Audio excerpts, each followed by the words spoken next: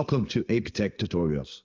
In today's video, I will quickly show you how you can regain space on your hard drive.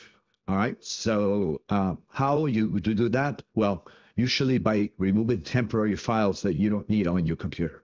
I'll show you. So in order to get there, all you need to do is click on Start and then click on Settings here.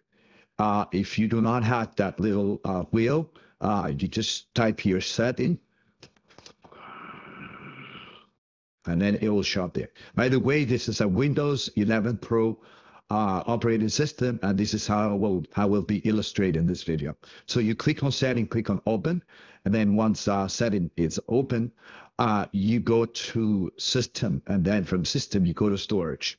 Here on the storage, uh, you need to look at the temporary files here. You, it's going to tell you uh, what the space you have and how many uh, how much space is being occupied. So if you click on this little arrow here at the end, it'll tell you that uh, there's some uh, space here that you can recover because these files are usually not necessary.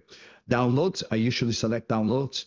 Uh, if you want, you can leave it out. It's up to you, but I usually remove download. Click on remove.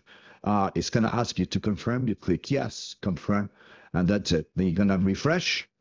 And then uh, you'll see that some of these, you have gained some space. Not a lot, less than a gigabyte, but um, actually less than a megabyte.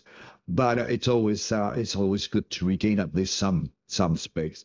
Now uh, let's go back a little bit here, and I will show you a couple things. Uh, you can do this uh, automatically. Uh, you can, so you can uh, automatically free your space uh, by deleting temporary files, and you can do that by toggling this to the right, making it here blue, and then that's it. And um, and also uh, you can also look at the cleanup recommendations, and it will tell you here temporary files, live files that you have not used, blah blah blah. So there are other recommendations that you can also see here in storage, and then get rid of that, and you'll see that your hard drive is gonna uh, gain regain some space. Uh, that's it for today. I hope you liked the video, and if you did, please give me a like and subscribe to my channel. Thank you, and have yourself a great